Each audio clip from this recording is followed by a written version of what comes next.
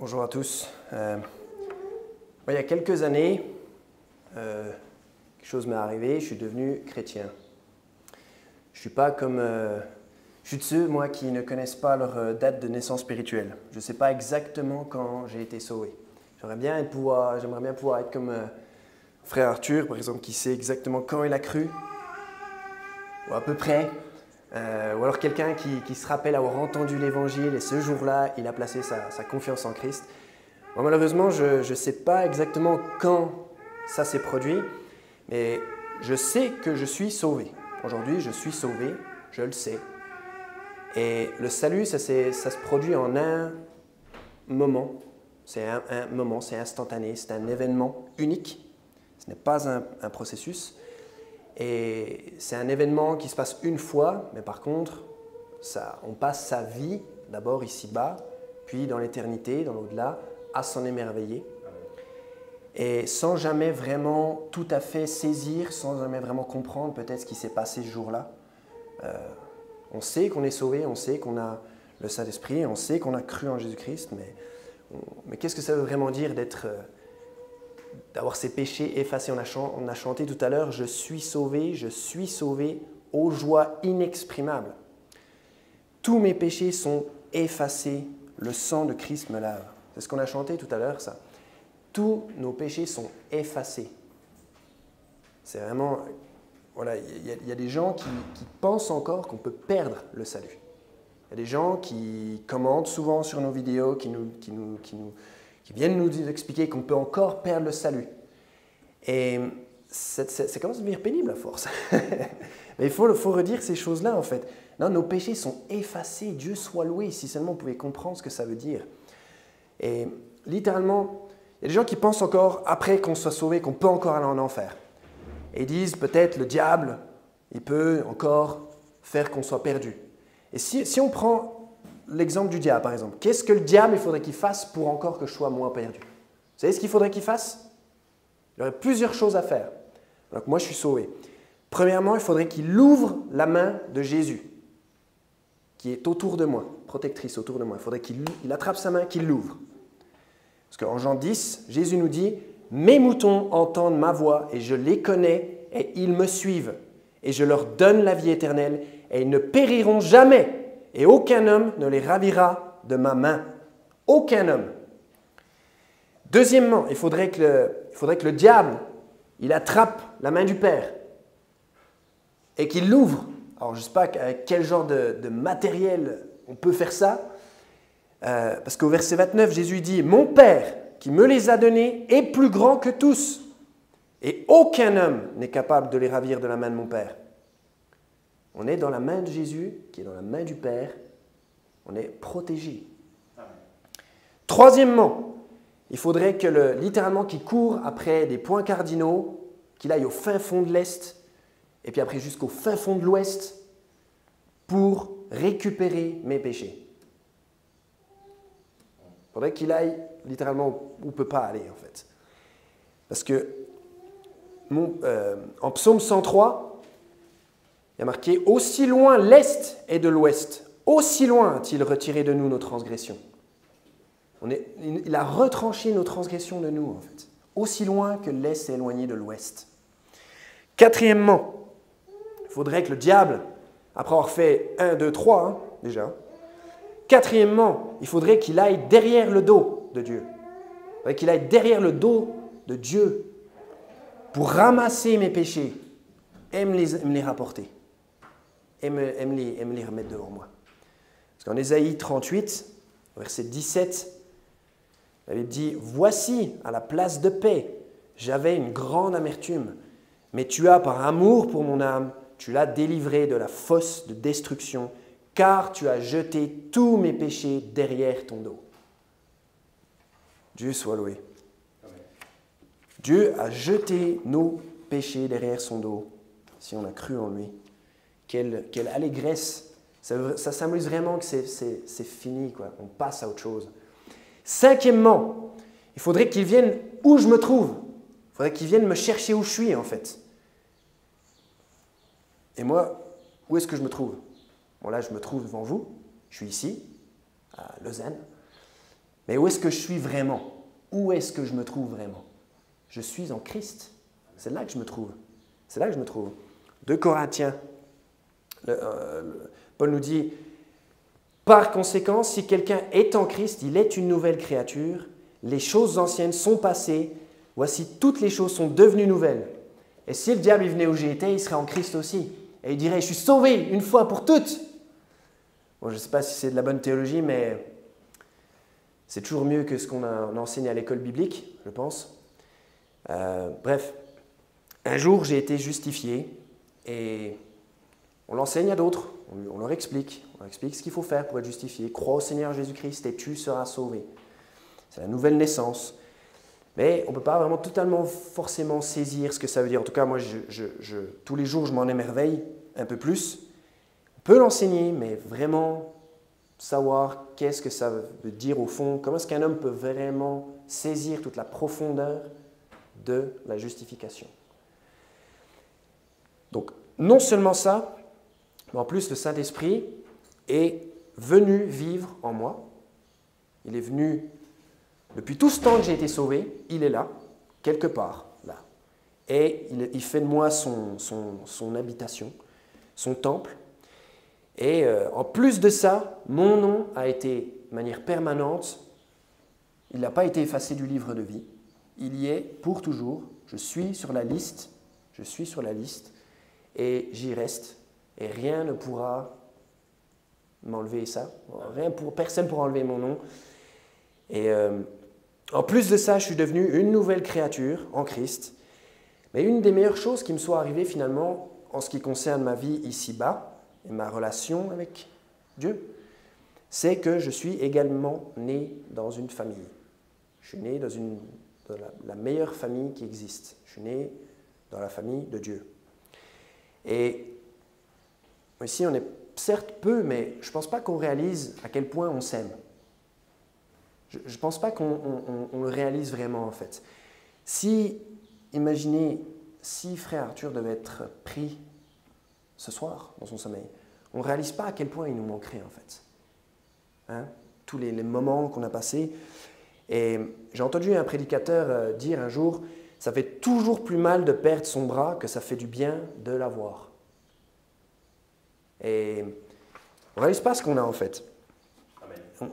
On, s'aime, on est ensemble. Vous savez qu'on est ensemble dans ce bateau, on est ensemble, on partage, on est littéralement dans le même bateau. Littéralement. Peut-être c'est aussi une expression qui vient de la Bible, avec euh, Jésus dans la barque, les apôtres, je ne sais pas. Il faudrait rechercher. Mais euh, donc on est tous une famille en fait. Et, euh, mais il y a quelque chose qui est un peu décevant dans cette famille que j'ai découvert c'est quand les frères et sœurs ne s'entendent pas, quand on n'est pas en harmonie en fait. Or, le peuple de Dieu doit être en harmonie. D'accord?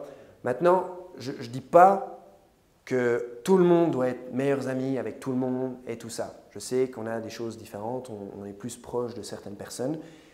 Et je dis encore moins qu'il faut que nous soyons en harmonie avec tous les gens qui se disent chrétiens. Non, non, non, non, non. Je ne suis pas en train de dire ça. des fois, je rencontre des chrétiens, euh, des gens qui se disent chrétiens, et ils, sont là, frangin, frangine, on est, on est des frères et sœurs. Euh, euh, d'accord, ok. Alors, attends, est-ce que tu, tu crois qu'on peut perdre son salut? Ah oui, bien sûr. Ah oui, oui, oui, bien sûr. Tu penses que les gens euh, les, tu penses pas que les gens à qui on prêche l'évangile dans la rue, qui invoquent le nom du Seigneur, tu crois pas qu'ils sont sauvés? Ah bah non, non, non, non, non, il faut qu'ils soient disciples, faut qu'ils... Attends, on peut pas juste les laisser euh, euh, comme ça aérer, il faut qu'ils montrent un petit peu ce qui... Ce qui après, il faut qu'ils vivent une certaine vie. Et tu ne crois pas que la Bible est préservée, tu crois pas qu'on a exactement ce que Dieu a dit? Ah bah les originaux, oui peut-être, mais nous, non, c'est que des traductions, il y en a plein et tout. Puis tu ne crois pas euh, en la Trinité? Non, non, non. Mais tu, tu, veux me dire comment vivre ma vie chrétienne par contre? Ben, Excuse-moi, non, tu peux pas. Non, tu peux pas. Tu peux pas me dire comment vivre. Je t'arrête tout de suite en fait. Tu dois d'abord être converti comme nous autres pécheurs, et après on parlera peut-être.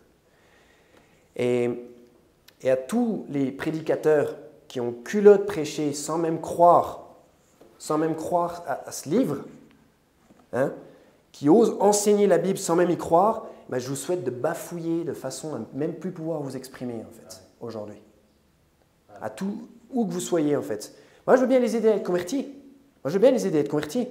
Mais je ne prendrai pas leurs conseils sur comment vivre ma vie chrétienne. C'est tout. Aucune légitimité. Et que tous les faux pasteurs qui prêchent aujourd'hui, je prie pour qu'ils aient la gastro-entérite derrière leur pupitre aujourd'hui.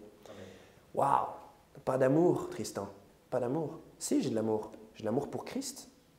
J'ai de l'amour pour Jésus et la vérité. J'ai de l'amour pour sa doctrine.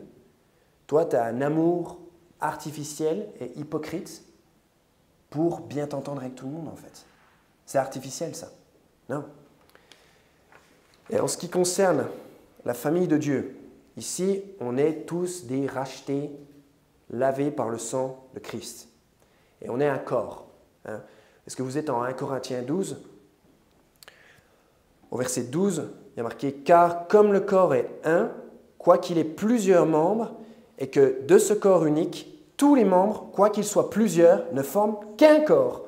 Il en est de même de Christ. Car nous avons tous été baptisés par un même esprit pour être un seul corps, soit juif, soit grec, soit esclave, soit libre, et nous avons tous été abreuvés d'un même esprit. On est un corps. La Bible explique qu'ici, nous sommes un corps. Ici, on est un corps local. On est une assemblée. On ne sommes pas tout à fait. On ne sommes pas une église, heureusement, puisqu'on n'a pas. Je ne suis pas pasteur. Aucun nous autres hommes ne sommes pasteurs. Nous ne sommes pas des pasteurs. Mais nous sommes. Nous fonctionnons, nous fonctionnons comme une église et on est un corps ici. On est. On partage. Nous sommes des soldats, des soldats de la croix. On est tous en train de faire une même œuvre ici. Et on doit être unis comme un corps. Ça ne peut pas nous faire le mal en tout cas. Et un corps, comment ça fonctionne?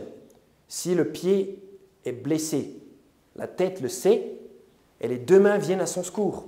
Vous êtes déjà tapé le pied dans une table, tout de suite on regarde où ça fait mal, on attrape, les deux mains synchronisées attrapent le pied, d'accord? Viennent à son secours, les yeux se plissent et les larmes sont produites des fois si on se tape vraiment très fort et on dit aïe et est-ce que ma main droite devrait se battre avec la main gauche et la poignarder?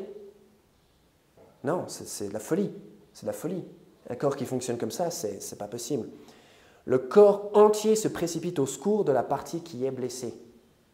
Pourquoi est-ce que le corps de Christ ne peut pas être comme ça? Pourquoi est-ce qu'on ne peut pas être comme ça ici? 1 Jean 3, au verset 1. 1 Jean 3, verset 1. Voyez quel amour le Père nous a témoigné, que nous soyons appelés enfants de Dieu. Le monde ne nous connaît point parce qu'il ne l'a point connu. Vous savez qu'ici on partage une expérience mutuelle. On est littéralement, comme j'ai dit, dans le même bateau en fait. On a tous été touchés par le Saint-Esprit à un moment. On a tous réalisé qu'on méritait l'enfer. On a tous cru dans le nom du Sauveur. On a tous placé notre foi en Jésus-Christ. On partage, on partage toutes ces merveilleuses bénédictions, en fait, le fait d'être sauvé, de le savoir, de pouvoir le chanter, de pouvoir s'en réjouir, de pouvoir aimer la Bible, de pouvoir savoir qu'on a la vérité avec, avec nous à tout moment, que, que la Bible est préservée. On partage tout ça. Il faut qu'on tienne ferme ensemble. On doit tenir ferme ensemble. Quand des gens qui partagent autant doivent tenir ferme. Et c'est presque une honte quand, quand les gens se critiquent, quand les, les, les, enfants de Dieu se critiquent mutuellement. Après, je sais qu'il peut y avoir des discords, je ne suis pas en train de prêcher, il faut qu'on soit... La Bible voudrait qu'on soit tous d'un même accord, qu'on croit tous en, en, ce livre. Des fois, il faut qu'il y ait de la discipline, effectivement. Des fois, il faut se prendre un coup euh, sur la tête pour se remettre dans le droit chemin. Mais d'une manière générale, quelle honte quand le peuple de Dieu, et on est si peu, finalement, quand le, quand le peuple de Dieu, en fait, a tendance à se critiquer, à s'attaquer. Je ne pense pas que ce soit quelque chose qui plaise vraiment beaucoup à Dieu. Et que Dieu nous en garde ici, qu'on se critique. Euh, voilà en Jean 13. Qu'est-ce que dit le Seigneur Jésus à ce moment-là Jean, en Jean 13. Voyons ce que dit le Seigneur Jésus.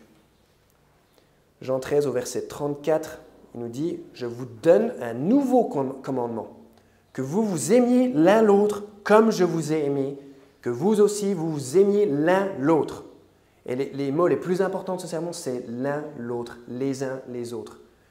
C'est en préparant ce sermon, c'est ce qui m'a sauté aux yeux en fait. C'est ces mots-là qui reviennent tout le temps. Verset 35, encore une fois, par ceci, tous les hommes sauront que vous êtes mes disciples si vous avez de l'amour l'un pour l'autre. Donc qu'est-ce que le Seigneur Jésus nous, dit ici?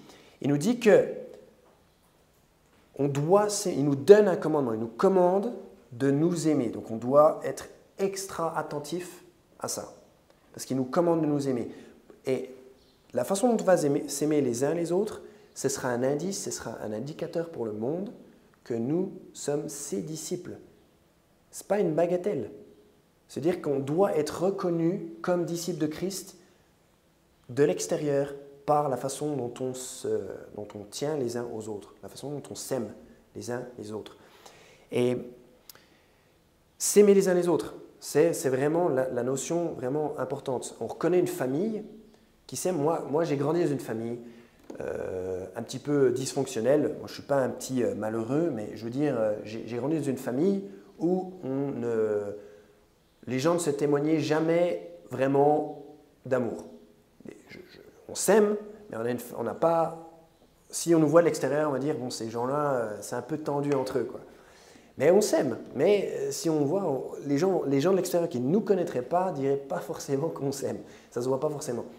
Et euh, moi, j'ai toujours connu ça. Et un jour, j'ai eu la chance, quand j'avais 17 euh, ans, j'ai eu la chance d'aller un an dans une famille d'accueil au Danemark. Et j'ai vécu avec une famille pendant un an. Une famille que j'ai appris à découvrir. Et pour la première fois, je voyais des gens qui s'aimaient. Une famille, une unité, c'était les Andersen, voilà, ils s'appellent aussi comme ça, c'est les Andersen. Et ils s'aimaient. Et on pouvait, on pouvait les, remarquer, dire Waouh, les Andersen, ils s'aiment. Et en plus, c'était une famille recomposée. T'imagines? Et pourtant, et pourtant, le père, quand le fils parle, il est, il est content, il écoute, il écoute.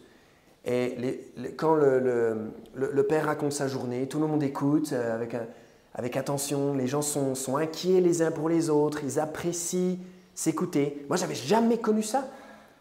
Mais en tout cas, moi, je pouvais dire, les Andersen, je reconnais qu'ils s'aiment, je vois qu'ils s'aiment. Et c'est la première fois que j'ai été exposé à ça, en fait. Et nous, c'est pareil. On est une famille, on s'appelle les frères et sœurs, on est des frères et sœurs ici. Dieu est notre Père et on est ses enfants. On a lu ça tout à l'heure. Donc, c'est-à-dire, à, à, la même de, façon analogue, on devrait s'aimer, on devrait prendre plaisir les uns aux autres, apprendre à connaître les autres, les écouter, euh, écouter ce qu'ils ont à dire, s'inquiéter pour eux. Et c'est à ça que, que, le monde reconnaîtra tous les hommes. Par ceci, tous les hommes sauront que vous êtes mes disciples, Jésus dit. Si vous avez de l'amour l'un pour l'autre, il faut que ça se voit. Il faut avoir de l'amour l'un pour l'autre. Et je pense que Dieu prend beaucoup de plaisir à voir des gens différents dans sa famille, des gens qui viennent euh, de pays différents, des gens qui sont un petit peu qui, ont des niveaux d'éducation différents, sans qu'il y en ait un, sans qu'il y en ait un plus haut que l'autre. Je pense que quand ils nous voient aller évangéliser, nous ensemble, quand ils voient sœur, euh, quand ils voient sœur April avec ma femme aller évangéliser, je pense que Dieu est content de voir ça. Il est content de voir des gens qui viennent de pays différents, aller tous unis dans une même œuvre. Ou quand moi, bah, je, euh, quand je, vais évangéliser, quand il voit Arthur et Tristan aller évangéliser, il se dit, euh, dit c'est bien quoi. Il y en a un qui est super intelligent, un, génie, ou Arthur, et puis un mec un peu, un peu moins intelligent peut-être, qui... mais il n'y en a pas un plus haut que l'autre. Et des gens d'horizons différents qui s'unissent en Christ pour une seule et même œuvre, un seul accord, un seul esprit, tous baptisés d'un seul et même esprit. Il n'y a pas de différence entre les hommes. Et avec nous, il ne devrait pas y avoir de, différence non plus.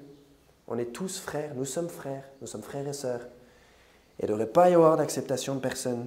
S'il y a bien un endroit où il ne devrait pas en avoir, c'est dans la famille de Dieu. Voilà en Philippiens 2.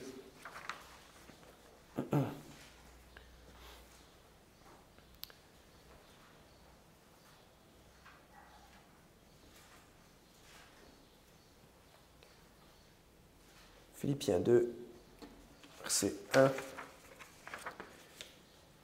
S'il y a donc quelque consolation en Christ, si quelque réconfort d'amour, si quelque association de l'esprit, si quelques entrailles et miséricorde, comblez ma joie pour que vous ayez une même disposition, ayant le même amour, étant d'un seul accord, d'une seule intention. Que rien ne soit fait par querelle ou vaine gloire, mais avec modestie d'intention, que chacun estime l'autre meilleur que lui-même. Que chaque homme ne regarde pas seulement à ses propres intérêts, mais que chaque homme aussi veille aux intérêts des autres. Que ce cerveau soit en vous, lequel était aussi en Christ Jésus. Verset 4, que chaque homme ne regarde pas seulement à ses propres intérêts. C'est en ça, c'est ce qu'on disait la semaine dernière, c'est en ça qu'on est fort. C'est en ça qu'on est fort, qu'on aide ceux qui ont besoin de nous, qu'on regarde aux intérêts des autres, constamment, qu'on soit toujours porté vers l'autre et qu'on s'oublie. Et ça doit être que ce cerveau soit en vous, lequel était aussi en Christ. Christ a lavé les pieds des disciples. Christ est mort pour nous tous. On ne va pas faire mieux, certainement pas, mais on doit en prendre exemple. On exemple, et ça doit être ce cerveau soit en nous. C'est-à-dire que ce cerveau était en Christ, cette disposition d'esprit doit être en nous. On doit avoir euh, ces réflexes, on doit regarder aux intérêts des autres. Et c'est en ça qu'on est fort, justement, les hommes particulièrement. C'est en ça qu'on est viril, par exemple. Et ça peut devenir la culture de l'Église, en fait, ou d'une assemblée locale comme la nôtre. Nous ne sommes pas une Église, mais ça peut devenir la culture dans un groupe comme le nôtre, ne pas se soucier des autres. Et la Bible nous met en garde en Proverbe 21. En Proverbe 21, verset 13, car quiconque ferme son oreille au cri du pauvre, lui-même criera aussi, mais ne sera pas entendu. Donc ce n'est pas forcément le contexte de l'Église locale, mais si vous voulez, si on passe sa vie à ignorer les autres quand ils appellent à l'aide, qu'on ne regarde jamais à leur intérêt, on ne voit pas que les gens souffrent, on n'essaie pas de les aider, qu'on n'essaie pas de s'inquiéter pour eux, il ben, ne faudra pas être surpris peut-être si on répand cette attitude en fait. Et ça devient la norme. Et ensuite, des gens souffrent. Et ensuite, un jour, ce sera toi qui souffriras. Parce que on, souffre tous à un moment ou à un autre. Et quand tu seras dans le besoin, peut-être que ben, tu récolteras ce que tu as semé, c'est-à-dire une indifférence. Donc que la Bible, que, Dieu nous en garde de ça, qu'on ait toujours ça en tête, ce cerveau euh, qui doit être en nous, qui était aussi en Christ Jésus, de, regarder pas seulement nos propres intérêts, mais, mais, que chaque homme aussi veille aux intérêts des autres. La Bible nous reprend sévèrement. 1 Jean 3. En 1 Jean 3, vous pouvez y aller. Parce que c'est un commandement de s'aimer les uns les autres. D'accord? Donc évidemment, la Bible nous reprend sévèrement, si on ne le fait pas, en 1 Jean 3, verset 16. Par ceci, nous percevons l'amour de Dieu, parce qu'il a donné sa vie pour nous, et nous devons donc donner nos vies pour les frères. Mais quiconque possède le meilleur de ce monde, et qui voit son frère dans le besoin, et lui ferme ses entrailles de compassion, comment l'amour de Dieu demeure-t-il en lui? Ça, c'est un peu la douche froide. Comment l'amour de Dieu demeure-t-il en lui? Si on n'est pas ému quand on voit une partie du corps souffrir, si on n'a pas nos entrailles de compassion qui sont remuées, l'amour de Dieu ne demeure pas en nous. Donc ce n'est pas une blague, c'est pas une blague, parce qu'on est ensemble dans notre chrétienté, on est ensemble ici, et il faut que ça, faut que ça marche. Il faut qu'on s'entende bien, et il faut vraiment qu'on puisse œuvrer, on n'est pas beaucoup, et si on veut croître, d'autant plus, on doit absolument appliquer ces principes, déjà qu'on est 4, 5, 6, même pas 10. Alors, comment est-ce qu'on serait si on était 15, si on était 20 Est-ce qu'on aurait nos entrailles de compassion euh, qui seraient prêts à être remuées pour chacun? Est-ce qu'on serait prêt à regarder les intérêts des uns et des autres? C'est très important. Vous pouvez aller en Éphésiens 4. On doit nous reconnaître, on doit nous reconnaître. On doit voir qu'on s'aime ici, ça doit se voir. Éphésiens 4, verset 32. Et soyez bons l'un envers l'autre, miséricordieux, vous pardonnant l'un l'autre, C'est-à-dire comme Dieu en Christ vous a pardonné. C'est-à-dire comme Dieu en Christ vous a pardonné. Enfin, on lit ça, on se dit, on, prend ça pour acquis, comme Dieu en Christ vous a pardonné. Vous savez, euh, enfin, je ne vais pas faire la liste de toutes les choses dont il m'a pardonné, euh, mais on doit se pardonner les uns les autres. Exactement comme Dieu nous a pardonné. Et on doit être miséricordieux. Et c'est ça, le, on va dire, le, le béaba du, du savoir, euh, du savoir-être ensemble, en fait. C'est de se pardonner.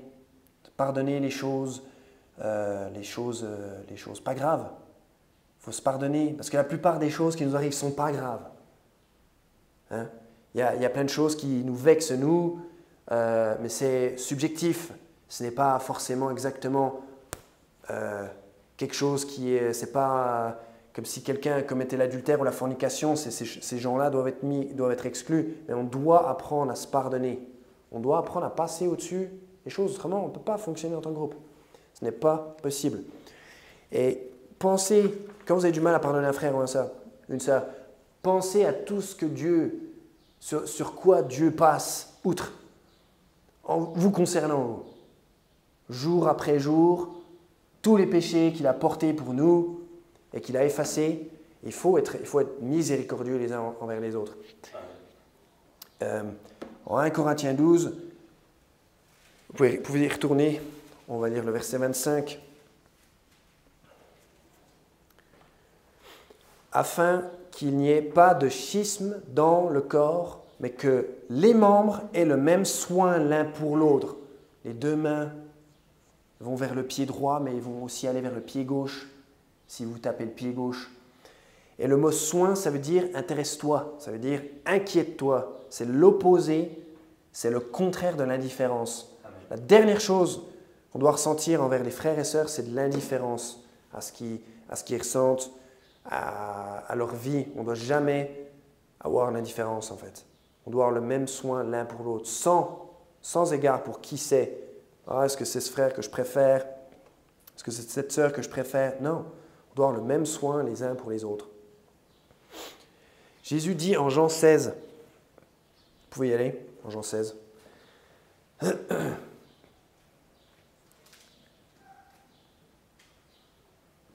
On va parler du, du, Saint-Esprit. En Jean 16 au verset 7, Toutefois je vous dis la vérité, il vous est avantageux que je m'en aille, car si je m'en vais, le consolateur ne viendra point à vous. Et si je, ne m'en vais pas, le, consolateur ne viendra point à vous. Et si je m'en vais, je vous l'enverrai. Le Seigneur nous envoie un consolateur. Un consolateur, c'est là pour nous, nous réconforter, c'est là pour nous, nous redonner du courage, nous redonner de la force quand on tombe, pour nous relever.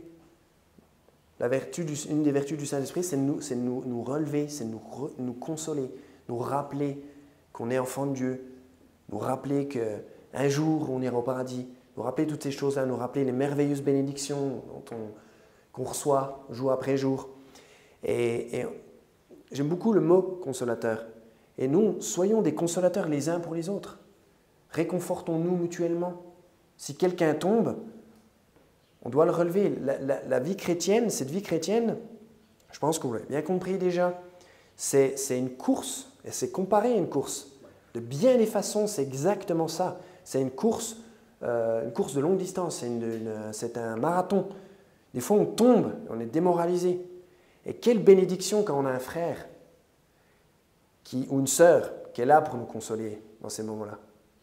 C'est une, des choses que, la famille de Dieu doit créer, en fait. Et moi, euh, frère Pierre, par exemple, plusieurs fois, je, lui ai parlé de choses qui, me travaillaient, et, il a été là pour moi. Et il a, su me réconforter, il a su me conseiller. Il était, je voyais qu'il était plein de compassion. Et il, il m'a aidé, il a sûrement prié pour moi. Et des choses, des choses ont changé dans ma vie. Effectivement, quelle joie de faire partie de la famille de Dieu quand on peut connaître ça. Dans le monde, on ne peut pas connaître ça. On ne peut pas connaître ça. Peut-être quelque chose qui approche de ça, dans une famille bien unie. Euh, mais là, nous, on est une famille recomposée, composée de plein de, de plein d'hommes et de femmes différents. Et On peut vraiment prier les uns pour les autres. Je vais un petit peu trop vite, mais quelle joie de pouvoir bénéficier de ça. Et donc inquiétez-vous pour les frères et les sœurs. Demandez à quelqu'un comment ça va? Comment ça va? Qu'est-ce que qu'est-ce qui va pas? Intéressez-vous.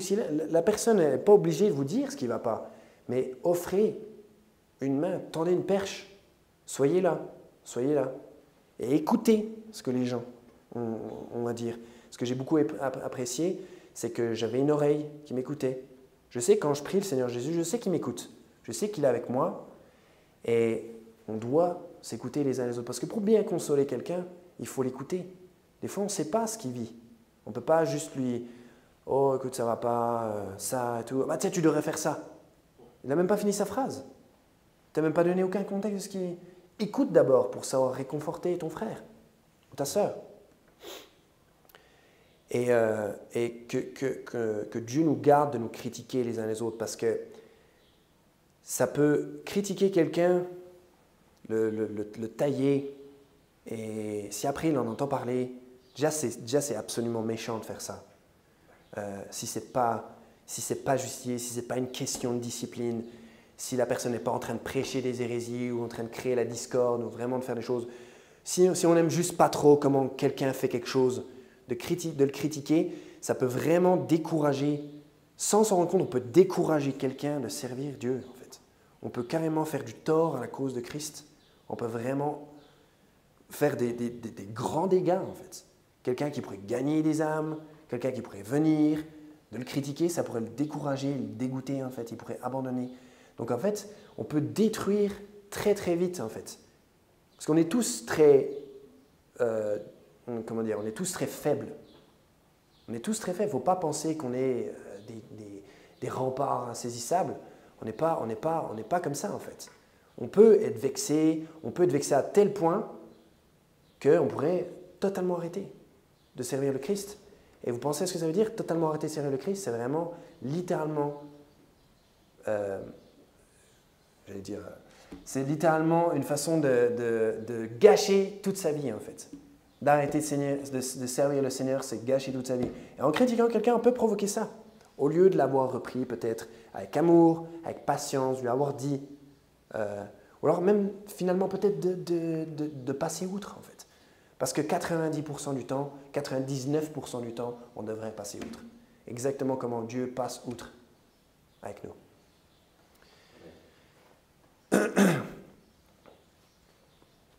comment cultiver l'unité entre frères et sœurs? La Bible a un petit plan pour nous. Premièrement, voilà en Jacques euh, au chapitre 5. Jacques chapitre 5. À la fin du, à la fin du Nouveau Testament, Jacques chapitre 5. Donc il y a, il y a plusieurs choses pratiques qu'on doit faire. Numéro 1, confesser nos péchés, nos manquements aux uns et aux autres. Se confesser nos péchés, des fois se, se, se, délester de, ce qu'on vit. expliquer à quelqu'un, est-ce que j'ai besoin que tu pries peut-être pour moi, pour telle ou telle chose, j'ai du mal. Avoir l'humilité, on n'est pas obligé de dévoiler sa vie privée, mais avoir l'humilité, parce que ça, ça peut vraiment déverrouiller plein de choses. Quand quelqu'un prie pour toi, ça peut vraiment, vraiment tout, tout décoincer, en fait. La puissance de la prière. Hein, et il y a bien plus de chances que Dieu réponde une prière vers autrui qu'une prière envers soi. Dieu, Dieu prend plaisir à ça. Hein. Je vous renvoie à tous les autres points du sermon, en fait. Dieu prend plaisir à ce qu'on regarde aux intérêts, non pas nos propres intérêts, mais ceux des autres. Hein. Donc, deuxièmement, priez les uns pour les autres. Donc si tu m'aimes pas, si vous ne m'aimez pas, ben, s'il vous plaît, priez pour moi que Dieu me bénisse. Celui qui m'aime le moins, il devrait prier pour moi que Dieu me bénisse le plus. Et euh,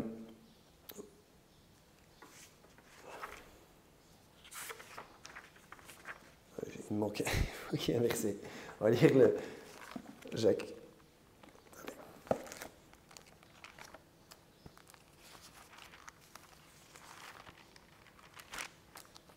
Allez, on y va.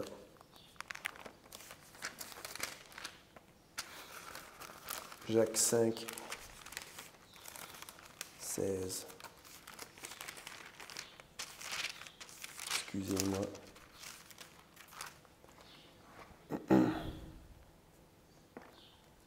c'est ce que je voulais dire par rapport à confesser les péchés. Euh, euh, Jacques 5, verset 16. Confessez vos fautes les uns aux autres et priez les uns pour les autres afin que vous soyez guéris.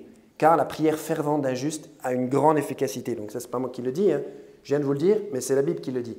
Que la prière fervente est d'une grande efficacité. D'accord? Donc il faut confesser ses péchés les uns, aux autres, ce qui va amener les gens à prier les uns pour les autres et ce qui va résoudre le problème. OK? Et ça, c'est vraiment important. Pendant qu'on est en, Jacques, on peut aller au Jacques, Jacques 3, Jacques chapitre 3. Il y a un petit membre dans nos corps respectifs qui est petit, qui est très petit et qui on ne voit pas beaucoup, des fois on le voit un peu sortir. C'est la langue. Donc c'est petit, mais c'est destructeur. C'est quelque chose qui peut être très, très, très destructeur. Verset 2. Car en beaucoup de choses, euh, Jacques 3, Jacques 3, 3 au verset, au verset 2, car en beaucoup de choses, nous, nous offensons tous. Donc on va tous vexer quelqu'un, parce que si un homme n'offense pas en parole, celui-là est un homme parfait et capable aussi de mettre un frein à son corps entier. Donc, euh, qui n'a jamais euh, vexé quelqu'un? Je ne pense pas que ça existe. Euh, voici, nous mettons des morts dans la bouche des chevaux pour qu'ils puissent nous obéir et nous dirigeons leur corps entier.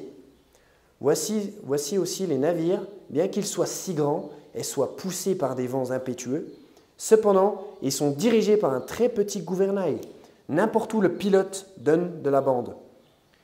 Oui, certainement la langue est un petit membre et se vante de grandes choses. Voici comment un petit feu allume une grande quantité. Et la langue est un feu, un monde d'iniquité. Ainsi est la langue parmi nos membres. Elle souille le corps entier et embrase le cours de la nature et elle est embrasée par l'enfer car toute espèce de bête et d'oiseaux et de serpents et d'animaux de la mer est soumise et a été soumise par l'être humain.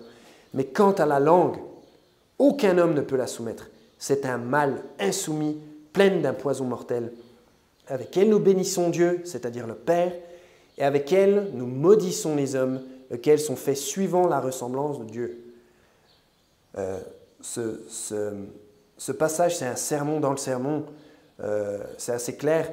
Mais la, langue est vraiment quelque chose qu'il faut apprendre à contrôler. Il faut vraiment tourner sa langue cette fois dans sa bouche euh, avant, avant de parler parce que la langue, c'est vraiment une petite chose qui ne peut pas faire de mal physiquement. On ne peut pas foutre un coup de, langue à quelqu'un et l'assommer. Mais euh, on peut vraiment le détruire. On peut détruire quelqu'un avec sa langue, en fait. Et on peut se vanter de grandes choses. La langue, c'est petit, mais ça, se vante de grandes choses. On peut dire Ah oui, moi je ferais ci, je ferais ça. Ah, moi, euh, moi je, moi je, moi je, moi je suis génial. Et, euh, et c'est vraiment quelque chose à. on, met des morts aux, chevaux. Hein. Frère Arthur prêche beaucoup sur les animaux ces temps-ci. Donc euh, les, chevaux, on leur met des morts à la bouche pour les diriger en fait. Et il faut faire la même chose. Imaginez, l'image est forte, quoi. Il faut carrément se mettre des morts à sa, à, sa, propre bouche, à sa propre langue, et la tenir avec des rênes solidement. J'ai envie de dire quelque chose. Est-ce que je vais le dire ou pas? Euh, Non, peut-être que je ne devrais pas le dire. Hein c'est peut-être pas. Euh, voilà, je suis pas. je vais pas. Euh, est-ce que c'est une parole qui va édifier Est-ce que c'est une parole qui va aider mon frère? Ça peut être une parole. Ça ne veut pas dire dire que des choses positives. Ça veut dire est-ce que je devrais dire ça à mon frère? Il faut se poser la question. Est-ce que c'est vraiment le moment de le dire? Est-ce que ça va l'aider? Est-ce que ça va pas juste, c'est pas juste quelque chose que j'ai envie de dire? À quoi ça sert de le dire? Faut se poser toutes ces, questions-là parce que la langue est un feu. La langue est un feu. Et on a mis en, soumission toutes les bêtes, littéralement toutes les bêtes qui existent. Bon, peut-être pas toutes, il y a les poissons, euh, des poissons qu'on n'a jamais vus, j'imagine, euh, ou des choses comme ça, mais on a à peu près conquis, on a à peu près soumis toutes les bestioles qui existent sur Terre. Hein. Le tigre, j'ai vu des tigres dans une cage, des ours, les plus gros mammifères, J'ai déjà vu, ah, pas apprivoiser, euh, c'est pas non plus des, on va pas laisser des enfants jouer avec, euh, mais euh, voilà, ils sont, ils sont pensez à un tigre qui déchire tout, un ours. Et la Bible nous dit qu'on a soumis ces grosses bestioles féroces, mais la langue, on ne peut pas totalement la soumettre. On ne peut pas la soumettre. Donc ayez peur de votre propre langue, ayez peur de ce qu'elle peut dire, et, mettez-y des morts, et que et que, qu'on n'oublie pas qu'elle dirige le corps tout entier. Voilà. Vous pouvez aller en Genèse 13. Pendant ce temps-là, je vais vous lire Matthieu 5. Une autre façon pour bien s'entendre dans la famille de Dieu. Bien s'entendre dans la famille de Dieu. Accorde, verset, Matthieu 5, verset 25, accorde-toi au plus tôt avec ta partie adverse, pendant que tu es en chemin avec elle, de peur que ta partie adverse ne te livre au juge, ne te livre au sergent, et que tu ne sois mis en prison. Pour bien s'entendre, il faut faire des concessions. Il faut, il faut s'accorder rapidement avec les gens à qui on a des désaccords. Si c'est des choses futiles, si c'est si des choses, finalement, dans dix jours, on s'en fichera. Demain même, on s'en fichera. Dans une heure, on aura déjà oublié. Accorde-toi. Fais, fais, fais, des concessions. Fais des concessions. Pour bien, pour passer à autre chose. Pour passer à autre chose. Tu n'es pas d'accord exactement avec comment un frère ou une sœur veut faire la chose. Ça ne sert à rien de créer un conflit pour ça. Accorde-toi avec cette personne et passe à autre chose. Ne se disputons pas. Si euh, tel ou tel frère préfère, euh, je ne sais pas moi, euh, c'est pas une cause de discord, mais imaginons euh, tel ou tel frère veut euh, que ce soit euh, à telle heure exactement qu'on se, rejoigne, eh ben c'est pas grave. Mets-toi mets -toi en règle avec cette, avec personne. Fais, fais comme ça. S'il faut mettre une plante à côté du pupitre ou des choses comme ça, ça c'est des choses pour lesquelles on ne devrait pas se disputer. Accorde-toi, même si tu penses que non, mais accorde-toi avec ta, avec, avec ta partie adverse. Accorde-toi voilà, avec ton frère ou ta sœur. Vous êtes en Genèse 13, on va lire un passage où il y a eu un désaccord entre Abraham et Lot. Genèse 13, verset 2. Euh, Or, Abraham était très riche en bétail, en argent et en or. Puis il s'en retourna par ses campements du midi jusqu'à Bethel, jusqu'au lieu où avait été sa tente au commencement entre Bethel et Haï. Verset 4. Au lieu où était l'autel qu'il y, avait fait auparavant. Et Abraham y invoqua le nom de l'Éternel. Or, Lot qui marchait avec Abraham avait aussi des brebis, des bœufs et des tentes. Et le pays ne leur suffit pas pour demeurer ensemble, car leur bien était si grand qu'ils ne purent demeurer ensemble. Et il y eut une querelle entre les bergers du bétail d'Abraham et les bergers du bétail de Lot. Or, les Cananéens et les Phérésiens demeuraient alors dans le pays. Et Abraham dit à Lot, qu'il n'y ait point, je te prie, de dispute entre toi et moi, entre moi et toi, ni entre mes bergers et tes bergers, car nous sommes frères. Tout le pays n'est-il pas devant toi? Sépare-toi donc de moi. Si tu, prends la gauche, j'irai à droite. Et si tu prends la droite, j'irai à gauche. Alors Lot, levant les yeux, vit toute la plaine du Jourdain, qui, avant que l'Éternel détruise Sodome et Gomorre, était arrosée partout, et allant vers Tsoar, comme le jardin de l'Éternel, comme le pays d'Égypte. Et Lot choisit pour lui toute la plaine du Jourdain, et il partit du côté de l'Orient, et ils se séparèrent l'un de l'autre. Voilà. On ne va pas se disputer, Abraham dit à Lot. Nous sommes frères, ok. Prends, va où tu veux. Fais comme tu veux. Fais comme tu veux. Je ne vais pas m'opposer à toi. Le pays est trop petit pour nous, ok. Si tu vas à la droite, j'irai à gauche. Si tu vas à la gauche, j'irai à droite. Séparons-nous donc à ce moment-là. Mets-toi d'accord. Mets-toi d'accord avec ton frère.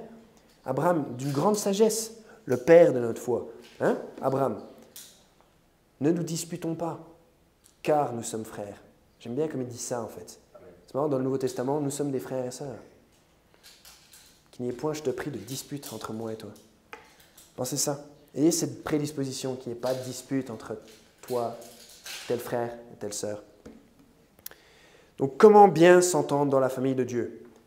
S'inquiéter des uns et des autres, pas juste penser, penser à soi. Prier les uns pour les autres, mentionner les frères et les sœurs, les différents frères dans nos prières, les garder constamment dans nos prières. parce que la prière fervente est efficace. Confesser ses péchés les uns les autres, pour que les autres prient pour nous. S'encourager les uns les autres et être des consolateurs les uns pour les autres, exactement comme Dieu, par sa grâce, nous console, nous réconforte. Soyons à cette image-là et en s'édifiant les uns et les autres. Et que, que toutes choses soient faites vraiment d'un seul accord ici. Voilà. On va prier. Père éternel, merci parce que je suis né dans cette famille, dans ta famille, Père. Et merci, Seigneur, de, de nous aider à être des fils et des filles dignes de, cette, de ce privilège, Seigneur, d'être d'être appelés tes fils, tes enfants. Merci, Seigneur, parce qu'on a tous cru en toi et qu'on a reçu le pouvoir d'être fait enfant de Dieu. Merci, Seigneur. Et je te prie pour que, que l'harmonie soit dans notre, notre famille locale ici, Seigneur. On puisse te glorifier, Seigneur, que tu puisses prendre un grand plaisir dans cette petite assemblée. Seigneur, je te prie pour que tu nous aides à nous pardonner les uns les autres, à être bons et miséricordieux l'un pour l'autre, Seigneur, et à, de, à, grandir dans cette, dans cette compassion. Et Seigneur, pardonne-nous si on n'est pas toujours euh, remué dans nos, dans nos, entrailles de compassion, Seigneur. Je te prie pour qu'on puisse vraiment saisir les vérités qui sont contenues dans ta parole et qu'on puisse appliquer tout ce qu'on a entendu aujourd'hui. Dans le précieux nom de Jésus, Amen.